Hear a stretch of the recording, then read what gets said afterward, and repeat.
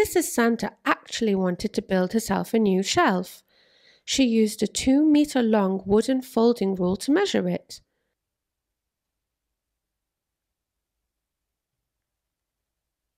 She ties a piece of parcel string to a hook or door handle to mark the plumb line vertically downwards.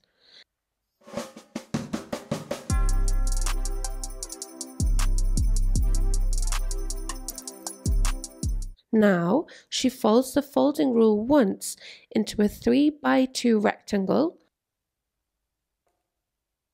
and once twice into a 3 by 2 right angle.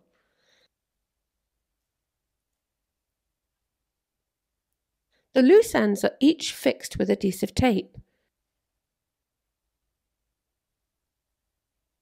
Then she places the rectangle and the right angle over the hook.